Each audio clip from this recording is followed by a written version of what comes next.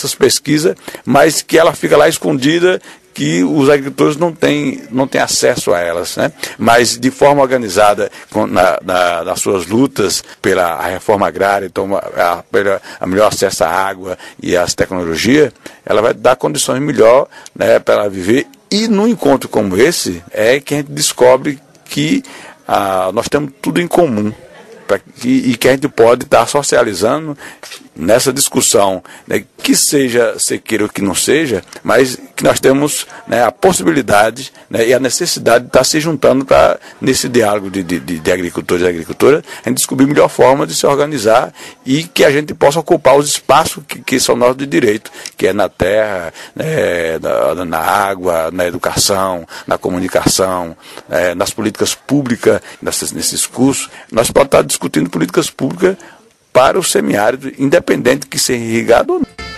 Pois é, não somente reconhecendo a importância desses conteúdos discutidos para os agricultores de modo especial para os sem terra, o Valmir Oliveira, conhecido como Vavá, diz que o movimento também precisa ocupar não somente as áreas irrigadas, como também áreas de sequeiros que não estão cumprindo sua função social na promoção da reforma agrária. Uma discussão que o movimento dos sem terra deve fazer a partir de uma visão de que o semiárido é um lugar viável para se produzir e viver.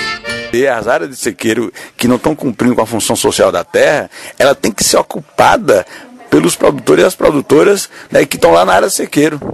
Ela tem que ser ocupada.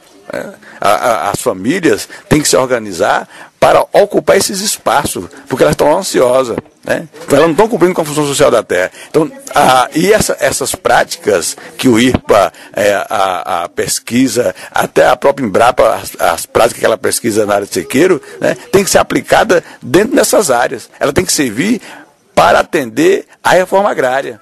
Né? E é independente, ela tem que, tem, tem que servir para atender a reforma agrária. E para a, a, a reforma agrária acontecer, nós temos que ocupar as terras. Aí nós temos que ocupar mesmo. Né? Não tem esse negócio aí, não. Nós temos que, a família tem que se organizar na área sequeira para ocupar todas as terras que estão desocupadas. Né? Nós temos que, que, que, a partir de agora, né, e aí nesses cursos tem que ser discutido isso, né, tem ser discutido isso. Quais são as estratégias que nós vamos usar? Qual é a forma de organização que nós vamos usar para poder ocupar essas terras, para poder a, a, a, a reforma agrária acontecer também na área do sequeiro? Né? Porque tem muita gente na sequeira que cria e não tem aonde a, a fazer a sua, a, a, a, sua produção. Porque as terras estão cercadas, a, os donos né, que, não, que não produzem estão lá para especular a terra. Então nós temos que se organizar para ocupar essas terras. Né? E com certeza não fazer isso. E dentro dessa possibilidade da ocupação das áreas de sequeiros pelo MST, a nova visão do semiárido com todas as viabilidades também está permeando essa discussão do semiárido como um lugar viável? Não, o semiárido é lugar viável. Né? né? E não existe essa coisa de dizer que no semiárido não, não, não, não, não dá para se viver. O que falta no semiárido são políticas públicas apropriadas para o semiárido. O que falta no semiárido ter uh, políticas voltadas para a gente usar os, os, recursos naturais que existem lá no semiárido. É preciso, para ir para isso acontecer, é obrigado que tenha gente na terra. É obrigado que a gente ocupe essas terras para poder, a gente, de forma organizada, né, pressionar o governo a investir aquilo que é necessário no semiárido. Nós precisamos né, convencer as famílias que não têm terra, que era preciso se organizar. Não é necessário, não precisa ser no MST, mas precisa estar organizado no movimento social para poder fazer isso. Né?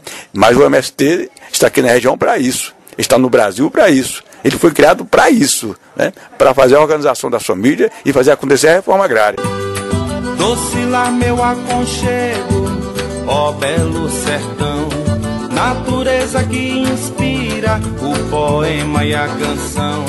Na bravura e resistência é o povo fiel. Grata terra prometida onde corre o leite. Muito obrigado ao Valmir Oliveira, o Vavá, liderança regional do MST, com residência lá na região do assentamento é, Estrada da Conquista em Campo Formoso. Muito boa sorte aí na caminhada, na luta pela liberdade e pelos direitos básicos, especialmente o direito à terra, o direito a plantar, produzir e viver com dignamente a todas as famílias, não só dos assentamentos, mas de todo o sertão. E por aqui, a gente finaliza abraçando com muito carinho todos os agricultores, as lideranças, todos que participaram dessa 22 segunda Escola de Formação em convivência com o semiárido. Que cada um e cada uma possa estar levando para a sua região essa visão do Nordeste como uma terra possível, uma terra produtiva, uma terra prometida aos nordestinos e nordestinas para que possa brotar alimento, a paz, a felicidade a justiça e que todos nós possamos